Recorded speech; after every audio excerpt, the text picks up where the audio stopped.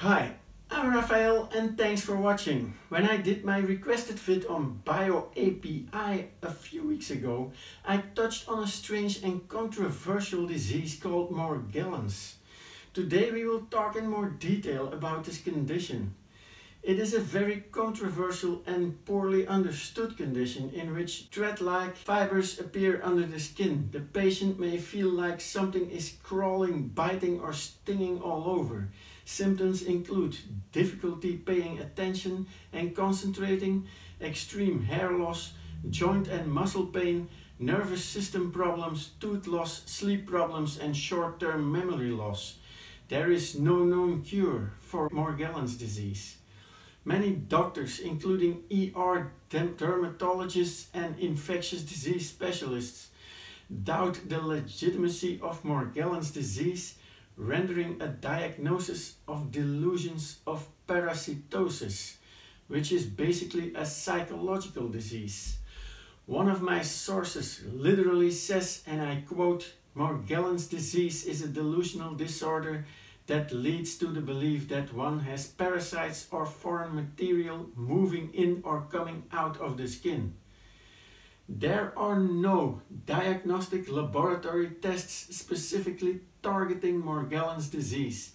A clinical diagnosis is made by visualizations of fibers in the skin with 60 times to 100 times lighted microscopy and patients reporting many of the symptoms associated with the disease.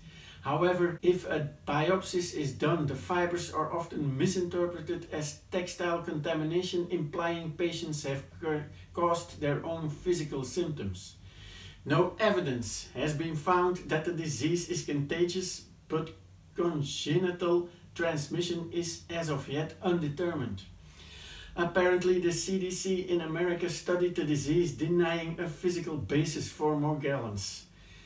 In an article published in BMC Dermatology in February 2015, a consortium of physicians and medical researchers from the United States and Australia provided medical proof that Morgellons disease does in fact have a physical cause. All 25 non-self-diagnosed patients from the USA and Canada met the key diagnostics criteria documented by a healthcare provider. The researchers even went as far as to say that spirochete bacteria are associated with Morgellons. The spirochetes are suspected as being transmitted through humans through tick bites. It logically follows that most people with Morgellons also have Lyme disease and subsequently a compromised immune system. The fibers were determined to be made of keratin and collagen that grow from the skin and are believed to be formed from the activity of certain cells within said skin. It is worthy to note that no known textile fibers are collagen in composition. Also no evidence for fungi, myiasis, insects, worms, bugs, springtails aka collembola or parasites have been found. Some even claim the filaments or fibers have internal self-replicating elements resembling bacteria and behaving like archaic prokaryotic microbes which don't have a cell nucleus. Some believe these self-replicating bacteria are hybrid life forms and thus artificial, either from alien origin or spread all over the world through chemtrails by the government. The last thing is not said about this and there is a big danger in all this. Chemtrails and aliens aside, if it is a real disease misinterpreted by doctors as a psychological condition, or vice versa, it could cost lives, so we can only hope the truth comes out and fast. But what do you think about this strange disease called Morgellons? And do you have any experience with it, either first-hand or other?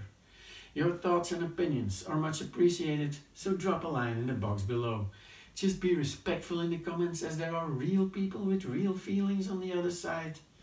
There is a lot more to tell about this topic than I covered in this small vid. And if you wish to do your own research, the links of my sources in the description might be a good start. If I have forgotten something or you have something to add, don't hesitate to do so. If you enjoyed this vid, you can like and share and subscribe to my channel and you may want to click the little bell to receive notifications. I have my You Decide channel you might want to check out and from my corner of this weird world to yours, I hope to see you next time. Bye.